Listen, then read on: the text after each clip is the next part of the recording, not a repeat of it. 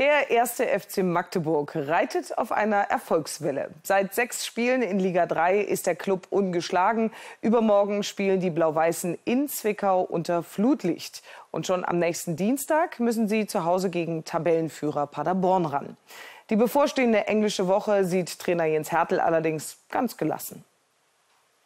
Ja, grundsätzlich müssen wir schon äh, diese englische Woche betrachten. Äh, aber äh, klar ist, wir wollen damit ja, maximale Erfolge mitnehmen und dann werden wir auch eine starke Mannschaft aufstellen. Trotzdem kann es eben auch zu Umstellungen kommen, äh, weil es natürlich äh, wahrscheinlich schwierig ist, dann am Dienstag und am äh, Freitag dann jeweils eben 90 Minuten Vollgas zu geben.